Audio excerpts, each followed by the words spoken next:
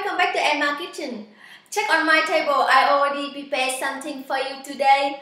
I will make Vietnamese banana bread. In Vietnam, we eat sweets less often than in America or other countries. But when we eat sweet, we will make it easy, simple and delicious. Today in the kitchen, I will share with you the way we make the banana bread in Vietnam with a little bit different by Emma way. The good thing when I make the banana bread I will use a whole lot of sandwich bread. So I will cut it. Yeah, you can see it's really old and dry. But it doesn't matter when you make the, the bread. After I cut the yellow part of the oh, of the sandwich, I will get only the white part of the sandwich and I will break it. It's really small. You will break it like that. Even you can squeeze it like that use your hand and break it. The bowl I use another bowl to make the milk. I will use the coconut milk. You will pour coconut milk. So you use two and third cup of coconut milk. You use two and third cup of coconut milk and I will add 2 and third cup of the milk. You make it. And then next I will add a little bit vanilla. Of not much, the most flavor is we will get from the coconut, but I still like the vanilla extra, so I will add some one for one four teaspoon of vanilla extra. And then I will add the two teaspoon of melted butter. And next I will break two eggs and pinch salt. And then I will whip it really well. Whip it really well. So now I will mix the milk mixture into the bread bowl. It's about 3 cup of the bread. Then you mix it well and then I will let it for marinade, kind of like marinade, about 30 minutes. In our country, we use this banana to make the banana bread. So this kind like Asian banana shorter than other banana. You can get it easy at the Asian supermarkets or big supermarket. They sell it. So this banana really strong flavor and I really like this banana, special in Africa. I can easy to find this banana I will use the eight bananas, ripe banana today to make my bread. So after you slice the banana like, length like that, long length like that, I will uh, add sugar. You use two tablespoons of sugar and I will add the rum.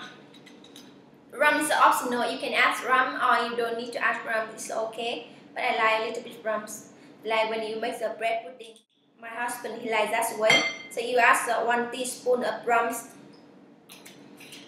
to marinate. Rum or brandy. I use brandy. Two tablespoons of whipping cream milk heavy cream. Stir it. You don't want to stir it really hard it will break the banana it will really gentle and stir it so I will let it marinate the same time I marinate with the bread so about 30 minutes and after 30 minutes, marinate banana and bread. I will bake them in the oven.